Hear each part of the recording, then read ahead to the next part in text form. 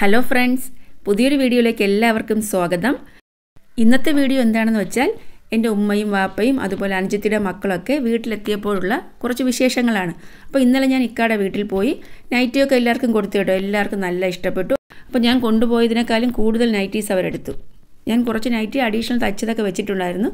അതൊക്കെ അവർക്ക് ഇഷ്ടപ്പെട്ടതൊക്കെ എടുത്തു. അപ്പോൾ അങ്ങനെ ഒരു ദിവസം നിന്നിട്ടാണ് വന്നത്. അപ്പോൾ അവിടെ പോയിട്ട് വീഡിയോ എടുക്കണമെന്നൊക്കെ ഉണ്ടായിരുന്നു.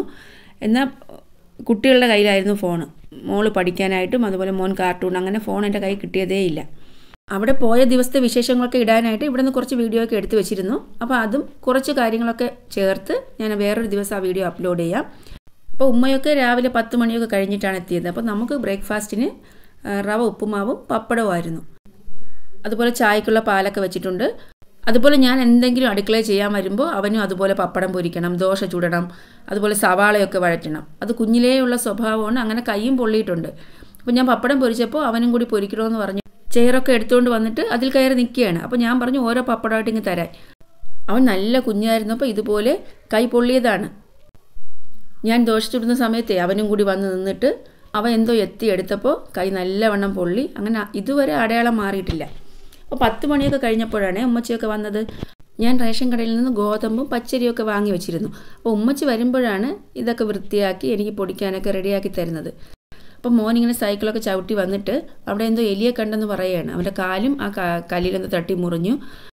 കുറച്ച് തടികളൊക്കെ അവിടെ അടുക്കി വെച്ചിരിക്കുന്നത് കൊണ്ടും പിന്നെ അതുപോലെ നമ്മൾ വേസ്റ്റൊക്കെ കളയുന്നത് ഈ തെങ്ങിന്റെ മൂട്ടിലാണ്. അതുകൊണ്ട് തന്നെ എലിയുടെ ശല്യം നല്ലവണ്ണം ഉണ്ട്. പിന്നെ എലിയെ നോക്കാനായിട്ട് ഓടിയതാണ്.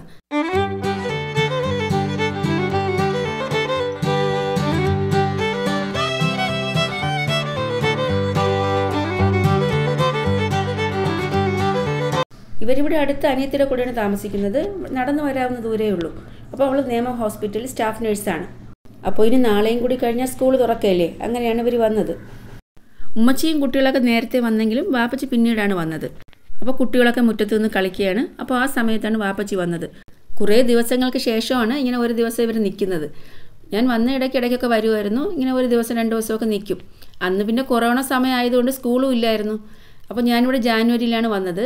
അപ്പോൾ ആ സമയമൊക്കെ സ്കൂൾ അവധിയായിരുന്നല്ലോ കോവിഡായിട്ട് പിന്നെ ഈ വർഷമല്ലേ സ്കൂൾ തുറന്നപ്പോഴല്ലേ ക്ലാസ്സൊക്കെ തുടങ്ങിയത്. പിന്നെ ഇപ്പം പിന്നെ മക്കൾ സ്കൂളിലൊക്കെ പോകുമ്പോൾ ഇപ്പോൾ വീട്ടിലാരെങ്കിലും വേണമല്ലോ. ഇപ്പോൾ റജീൻ ഡ്യൂട്ടിക്ക് പോകും അപ്പോൾ അതുകൊണ്ട് തന്നെ അങ്ങനെ തങ്ങാറില്ല. അപ്പോൾ വാപ്പച്ചി പോയിട്ട് മരിച്ചിനിയും മീനൊക്കെ വാങ്ങിക്കൊണ്ട് വന്നു. ഈ സമയം ഞാൻ അമ്മൂസ് ലേണിംഗ് ചാനലിൽ ക്ലാസ് ഇടാൻ വേണ്ടി അതിന്റെ എഡിറ്റിങ്ങിലായിരുന്നു കുറേ ദിവസമായില്ലേ ക്ലാസ്സൊക്കെ ഇട്ടിട്ട്. അപ്പോൾ അതിന്റെ ഇന്നലെ ഞാനൊരു ക്ലാസ് എടുത്തു. അപ്പോൾ അതിന്റെ എഡിറ്റിങ്ങിലായിരുന്നു പിന്നെ തേങ്ങയൊക്കെ ചിരകി കൊടുത്തു. പിന്നെ ഉമ്മച്ചി തന്നെ പറയും നീ ആ സമയം കൊണ്ട് ക്ലാസ് ഇടാൻ നോക്കുന്നത് അങ്ങനെ മരിച്ചിനിയൊക്കെ ഇളക്കി ചോറും മീൻ കറിയായിട്ടൊക്കെ എല്ലാവരും കഴിച്ചു. പക്ഷേ വീഡിയോ എടുക്കാൻ പറ്റിയില്ല.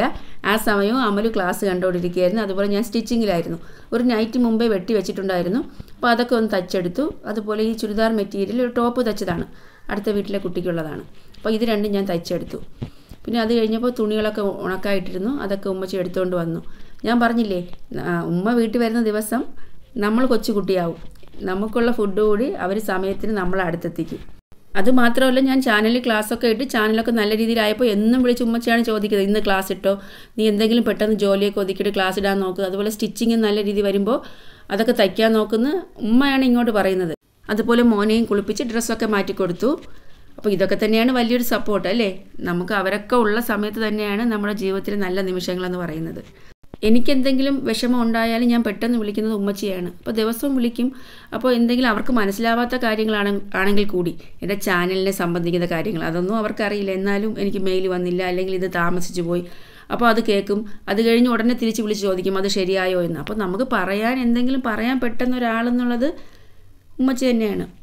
അതുകൊണ്ട് തന്നെ നമ്മുടെ എല്ലാ മാതാപിതാക്കൾക്ക് അങ്ങറ്റത്തോളം ശരീരസുഖവും ദീർഘായുസും കൊടുത്ത് നമുക്കെന്നും അവരുടെ കൂടെ സന്തോഷത്തോടെ ജീവിക്കാനും അതുപോലെ അവർക്ക് താങ്ങാകുന്ന അവർക്ക് സന്തോഷവും സമാധാനവും നൽകുന്ന നല്ല മക്കളായിരിക്കാൻ നമുക്ക് മനസ്സ് നൽകാനും നമ്മൾ പ്രാർത്ഥിക്കണം.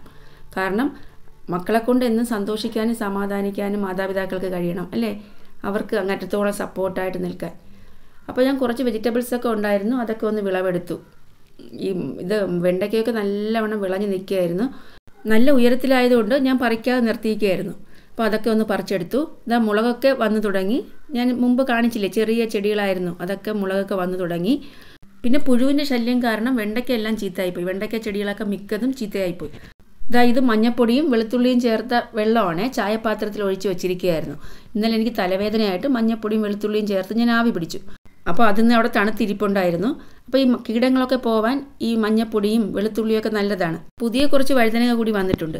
എലിത കുഴിച്ചിട്ടേക്കുന്നതാണ്. ഇനി ഇത് ചെടിച്ചട്ടിയിലോട്ട് നടണം. അത് രമ്പ ഇലയാണ്. അപ്പോൾ ഇതിലും കുറച്ച് പൂക്കളൊക്കെ വന്നു. ഇതാ ഇതൊക്കെ സാമ്പാർ മുളകും അതുപോലെ വെള്ളക്കാന്താരിയുമൊക്കെയാണ്.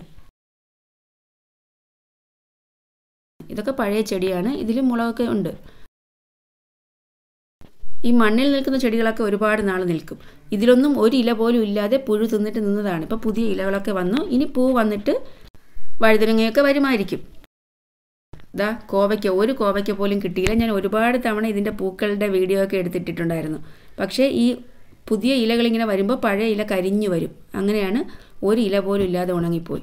ഇതാ പഴയ മുളക് ചെടിയൊക്കെ നശിക്കാറായി. അപ്പോൾ ഇതൊക്കെ ഞാൻ അന്ന് കാണിച്ചത് ഫസ്റ്റ് വീഡിയോയിൽ കാണിച്ച പുതിയ ചെടികളായിരുന്നു. ഇതിലൊക്കെ പൂ വന്നു. ഇതൊക്കെ നല്ലതായിട്ട് നിൽക്കുന്നത് അപ്പോൾ പഴയ ചെടികൾ ഇനി നശിച്ചു പോയാലും ഇനി ഇതിൽ നിന്നുള്ള മുളക് കിട്ടും. അതുകൊണ്ടാണ് ഞാൻ പെട്ടെന്ന് മുളകൊക്കെ നട്ടത്. എനിക്ക് മുളക് കറിവേപ്പില പച്ചമുളകും കറിവേപ്പിലയും എങ്ങനെയെങ്കിലും വളർന്നു കിട്ടണമെന്നായിരുന്നു. അതുപോലെ തന്നെ ഇഷ്ടം പോലെ മുളകും കറിവേപ്പില ചെടി ഇപ്പോൾ രണ്ട് മൂന്നെണ്ണം ഉണ്ട്. ഒന്നിൽ നല്ല ഇലകളൊക്കെ ഉണ്ട്. ഇതാണ് ഞാൻ പറയുന്ന കുരുടിപ്പെന്ന രോഗം. ഈ പച്ചമുളക് ഒരുവിധം പൂവൊക്കെ വരാറാകുമ്പോൾ ഇലയൊക്കെ ഇങ്ങനെ ചുരുണ്ട് കുരുടിച്ച് പോവും. അപ്പോൾ നമുക്ക് പുതിയ പൂവും വരില്ല ഇലയും വരില്ല. അപ്പോൾ ഇങ്ങനെ നുള്ളി കളയുമ്പോൾ പുതിയ ഇലകളൊക്കെ വരും വീണ്ടും ഇതുപോലെ വരും.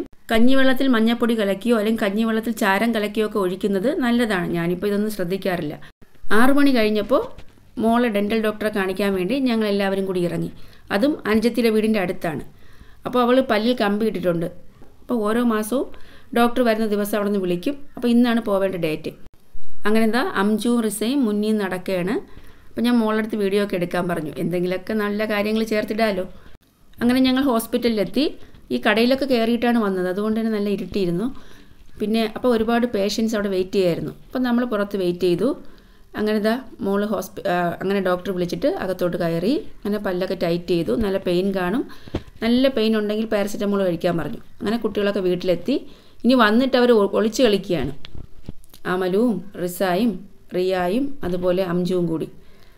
അപ്പോൾ അമലു എണ്ണി രണ്ടുപേരും ഒളിക്കാനായിട്ട് ഓടി. അപ്പോൾ റിസ ഫ്രിഡ്ജിന്റെ ബാക്കിലാണ് ഒളിച്ചത്. അപ്പോൾ ഞാനിത് വീഡിയോ എടുക്കാമെന്ന് കരുതിയിട്ട് ഫോണും കൊണ്ട് പോയപ്പോൾ അവൾ എന്നെ കണ്ടുപിടിക്കും സുനീമ പോ പോകുന്ന എന്നെ വിളിക്കുകയാണ്. ഉമ്മച്ചി പോ ഞാൻ അവിടെ നിൽക്കുന്നത് കാരണം അവൾ കണ്ടുപിടിക്കുമെന്ന്. അംജുവിനെ തിരക്കി പോയപ്പോൾ വർക്ക് ഏരിയയിൽ ഒളിച്ചിരിക്കുകയാണ്. അവനും പറഞ്ഞു ഉമ്മച്ചി പൊയ്ക്കോന്ന്. അങ്ങനെ കുട്ടികളുടെ കളിയും ചിരിയുമായിട്ട് ഇന്നത്തെ ദിവസം ഇങ്ങനെ കഴിഞ്ഞു. ഇനി പുതിയ വിശേഷങ്ങളുമായി നമുക്ക് അടുത്ത വീഡിയോയിൽ കാണാം.